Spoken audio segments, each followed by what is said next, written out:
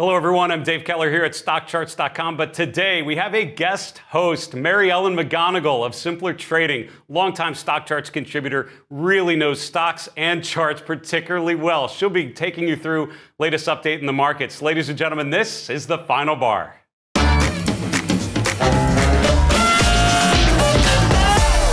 And welcome. It's Mary Ellen McGonagle here, filling in for the day. I just want to say welcome to the final bar.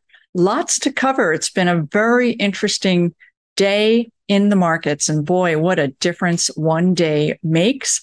We're going to review just what took place today, what drove price action in the markets today, and what that may mean going forward. So let's go ahead and begin here with a view of the S&P 500. We're looking at a daily price chart. And you can see we had this bit of a reversal take place today. We started the markets today with a nice rally in response to strong GDP data. It came in at about 2.4%. The markets were looking for 2%, nice, strong economy as the inflation data is beginning to recede. So we did start on a very positive note. However, into the last two hours of the close, we did get a pretty sharp pullback. And it was all about the Bank of Japan, the possibility that they may be shifting their monetary policy. They've had a unique policy where their shorter term rates were down below zero and they capped their long term rates at 0.5%. And they are looking to potentially shift back that. And I'll share with you how that rippled through the markets. But at the end of the day, we are looking at the S&P 500 remaining in a nice confirmed uptrend. We have the RSI up here in positive territory, as well as this MACD. A couple of areas of note, if we do continue to see any kind of a pullback, is that your next area of possible support on this S&P 500 is that 21 day simple moving average. That's this pink line here. And then we get into a bit of a broader, heavier possible area of support here at that 4450 level. But again, at this point, we are still in good standing relative to the broader markets. But let's take a look at some other activity that took place today in response to that news about the Bank of Japan. One item that we did see, and actually this took shape even prior to that news, is an uptick in interest rates. So we're looking here at the yield on the 10 year treasury. It did bump up to that 4% level. And this is a key level for the broader markets. It's one of those trigger points that oftentimes when we get up to that 4% level, and you can see we did get up beyond that here, certainly back in March as yields were beginning to tick up, we did experience a pullback for the most part, higher interest rates are particularly damaging, or they can be to growth stocks. So, this is one area that you will want to keep an eye on. And as we go ahead and move through, I'll share with you a couple of other areas that were on the move a bit today. Here we are with the US dollar. It did tick up about 1% today we had to see the we were seeing the dollar pull back a bit, which was good for some of these commodity related gold and silver stocks, but they did pull back today with that uptick in the US dollar. So net net, we did see broader economic data pushing the markets, but even more impactful, certainly on a stock by stock basis, was earnings reports. And what I did want to share with you is the fact that we did get some very critical earnings reports overnight. First up, we're looking at Meta Platform. They came out with very good numbers. The stock gapped up. Super good news there. But the news was not universally good. What we were seeing also among the broader markets was a deterioration among stocks, even if they did come in with good numbers. So I have a couple of examples that I can share with you as it relates to companies that came in with good reports. Uh, eBay, just as an example, we can take a look at this big gap down today. This was all about the company guiding for softer growth going forward. This is not what investors want to hear. And you can see they took the stock down 10 and a half Other examples where companies pulled back despite coming in with good numbers Edwards Lifesciences, EW, and this is a big drop here in that particular name as well.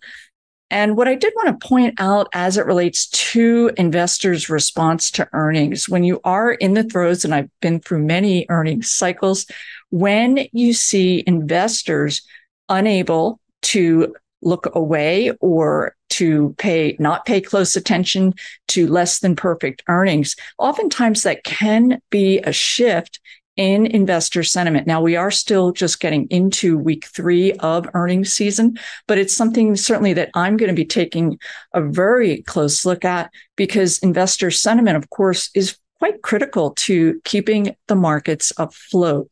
Now, beyond this, I did want to share with you a view of the S&P 500 and we'll take a quick look here at the equal weighted S&P. And this actually is somewhat good news. Uh, here we are with a daily chart. I'm going to pull up a weekly chart. In essence, it is reducing the impact of those mega cap names. And we can see by and large on this weekly that we are trending up quite nicely on that equal weighted. So, in other words, we are seeing a continued broadening out in the broader markets. I'll go ahead and share with you where that's shaping up and why. And then from there, we can take a look at individual stocks within the broader markets that are really looking quite attractive relative to some of these tech names that are quite stretched. So let's take a look at t- price action today on this view using stockcharts.com. And you can see down here in this lower quartile, your worst performing sectors were recently strong areas, financials, utilities, and real estate, which had been up at the forefront. Good news with technology down only about 0.3% and a lot to do with earnings related news. So from here, I'm going to pivot and share with you a view of the semiconductor index. We're going to get a little bit more into this as we move forward, but taking a look at two companies that released their earnings after the close yesterday. This is STM. Take a look at this gap up into a base breakout, nice positive momentum shift there. One other company that did report after the close lam research lrcx gap up into a base breakout. And again i'll share with you what focus those particular companies have that is helping to keep that semiconductor area among the technology sector in a nice uptrend so that's it for the market recap today. Again, you are going to want to keep an eye on those interest rates. Make sure that we don't get too much above that 4% level where it does impact particularly growth stocks. Also, earnings season having a very big impact as usual. However, I mentioned to you that sentiment does appear to be shifting. Confidence among broader market investors is going to be evidenced by them kind of looking away when the news is not always 100% great. We are not seeing that. We're seeing stocks really getting hit quite hard on the slightest nuance relative to either future earnings or coming in a little bit below estimates. Of course, you also will want to keep a little bit of an eye on that US dollar for those of you that are in some of these commodity related names. We did see that uptick. And then, of course, all eyes will be naturally on this Bank of Japan that seemingly did move the markets. I did point out to you areas of support to be on the lookout for, but at this point in time, we remain in a nice confirmed uptrend. Hey, thanks so much for that market update. Couple quick comments before we continue today's show. First off, we welcome your questions. I'm going to be back soon, and I would love to answer your question in our next mailbag segment. You can reach us via email, thefinalbar at stockcharts.com. On Twitter, just tag us in a comment at FinalBarSCTV. And on our YouTube channel, just drop a comment below the video that you're watching. We'd love to hear from you, especially your feedback on the show, but definitely your questions. We'd love to answer your question live on the air in our next mailbag segment. Also, we have a pretty serious special happening right now at stockcharts.com. If you have never been a premium paid member of StockCharts, now is the time to do it. We have a flash sale going on in the month of July. You can go to stockcharts.com slash special. Some of the most powerful features of the Stock Charts platform are reserved for our paid members. Things like our scanning engine, which allows you to identify stocks and ETFs on the move. Our uh, chart list feature, which really allows you to capture the names and the charts that are most important to you, and our ACP platform, our advanced charting solutions, which really is a dynamic way of understanding market dynamics. Stockcharts.com slash special for all the information on that summer sale happening in the month of July. And now we go back to your guest host, Mary Ellen McGonagle. So from here, let's go ahead and pivot and I'll share with you some other action, kind of zoom out a little and tell you what I'm seeing here in the broader markets. First up here, I am going to share with you a view of a particular uh, service. It's called Novice and Novel Investor. I don't use this service particularly, but it is super helpful in identifying sector performance and potential rotation. So we are going back with this view to 2008. And what this particular view shows you is the top performers on any given year. So, quite quickly, I'm going to share with you last year's top performers and also year to date performers up for this year. So, here we are with these top performer from last year, and you can see that it was energy stocks. We did see a number of energy companies perform. Occidental was a top performer among others last year. So that you can see on that year to date column on the far right, that year to date this year, it was an underperformer. Moving down to 2022, taking a look at utility. It was a tough year all around, but utilities did eke out a gain last year. And you can see underperformer, bottom performer year to date.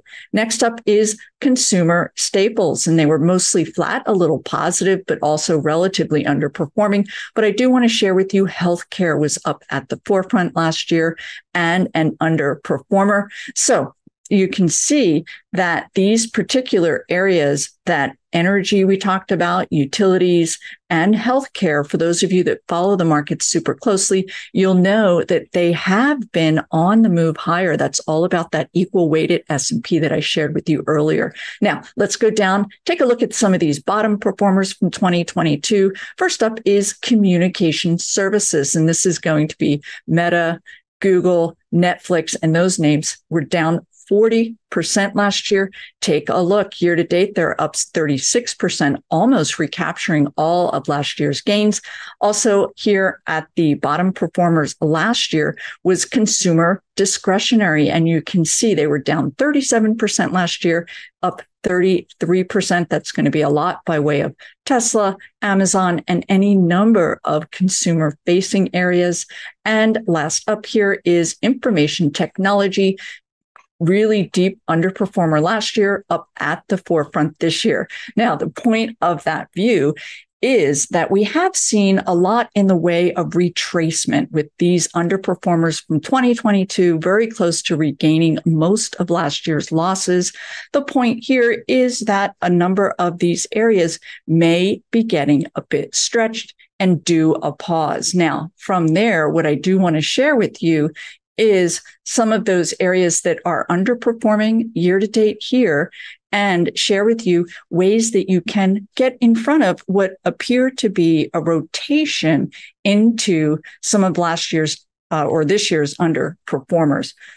So, first up, what I am going to do is share with you a view of XLE. Now, this is the broader energy sector. We're looking at a daily price chart view. And you can see that we've been in a nice uptrend here of late. The sector has nice positive momentum characteristics here, and we are coming off of the lows from early July. But the good news is that we've been seeing higher lows June into July. Very good news there relative to a potential continuation rally.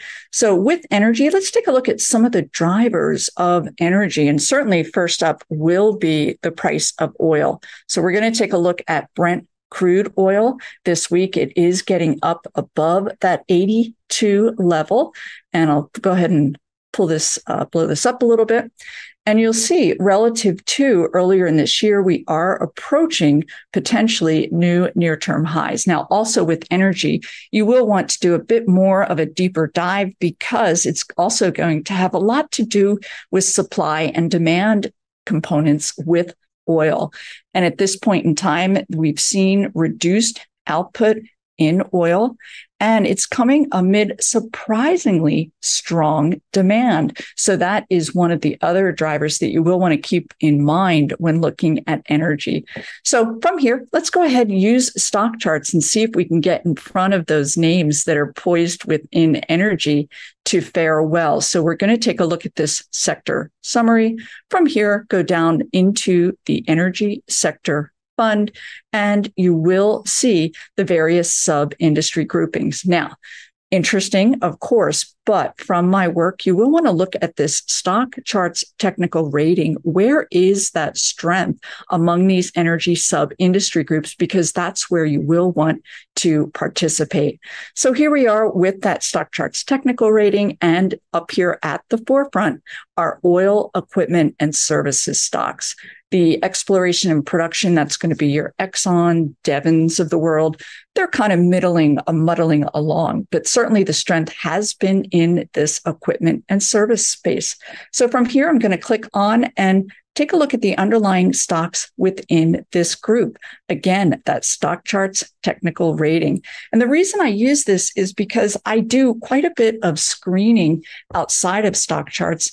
And when I come over and look at this view, the names that I've chosen that look quite attractive are up here at the forefront. So it's a wonderful shortcut as it relates to potentially getting in front of names in a strong group that are exhibiting strong characteristics. That technical rating, if you're not familiar, it is going to put you in front of stocks where their chart is technically quite sound.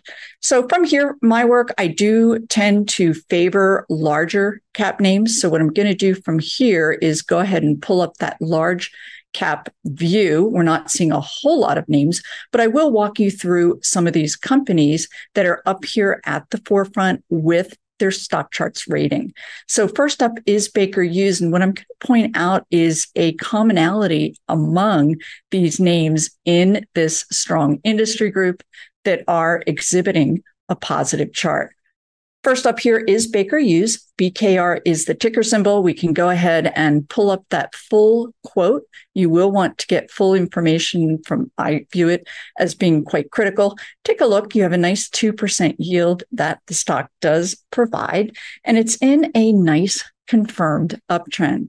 So that is one name for consideration. I'll take a moment here and mark this up. And from here, what I'm going to do is share with you a commonality among these names that are outperforming here. So, oh, well, my drawing skills up. Oh, still getting a second chance here. So we can see that the stock more recently has broken out of this multi-month base, nice high volume characteristics into an uptrend. We're going to pay attention today. It did pull back, but net net looking quite constructive. From here, let's go ahead and take a look at another name in this grouping here that is looking constructive and Schlumberger appear at the forefront in this equipment space, taking a look at the chart. Schlumberger did report their earnings and the stock also exhibiting this nice base breakout into a period of consolidation. So sitting up there quite nicely, we're going to go ahead and pull up that full quote again, give you a little more by way of information, a little bit of a 1.5% yield. And last up, I will share with you two other names that were also up there at that forefront with that stock charts technical rating. First up is Weatherford International, WFRD. Nice base breakout into an uptrend, nice high volume on your rally days, positive momentum. And then last up is CCJ.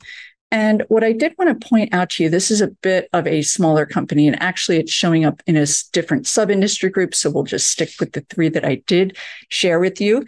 And when you are looking for strong names, or certainly they have are exhibiting constructive charts within an industry group. And in this case, we're looking at a sector that is potentially reversing its downtrend, entering a new uptrend. I combined fundamentals with those technicals. I want to know what is driving that stock price higher. So the commonality among those three, three energy names that I've shared with you is that each of them are considered energy technology companies. Now, what they are aiming to do is help these exploration and production companies become more efficient. And it's all about providing what are called cleaner solutions, reducing their carbon footprint, and then also providing waste reduction. Each of these companies does exactly that. They are viewing themselves as energy innovators and very much uh, strong global technology talking about a balanced planet. So that is one thing that I did want to share with you. And then also, let's go ahead and go back, take a look at semiconductor stocks, and we can do this same exercise here, technology, and take a look up here with this stock charts technical rating. No big surprise, but we can see semiconductor names from here, this stock charts technical rating again. And I don't think I need to go through and look at each chart, but I did want to point out to you that these top performers here, NVIDIA, of course, a monster. This has been on my MEM Edge report since January. It's up over 150%. But as we drill down, take a look at uh, ACLS, AVGO, Broadcom, Lam Research, AEHR. Each of these companies is involved in AI. That is very critical. Certainly, we are seeing a broad based adoption of AI technology, and these tech, uh, semiconductor companies either provide chips or they provide equipment to these chip manufacturers, all relate, relative to that AI. One last area that we can also see within semis that's experiencing strength is, for instance, ON Semiconductor. Let's go ahead and pull up this chart. And this particular stock is very much instrumental relative to electric vehicles. So EV is another theme among that semiconductor group. So, in other words, when you are looking to participate in a group that's either already very strong, such as semiconductors, or a group that's just coming into favor, I find it to be super helpful to not only know that their chart is looking quite constructive, but also what is that driver? Is there a commonality among these leading stocks that will help continue to propel those stocks higher over the long term? I'm going to leave it there. Everyone, take a look for me tomorrow with my Friday afternoon MEM Edge show. Until then, take care.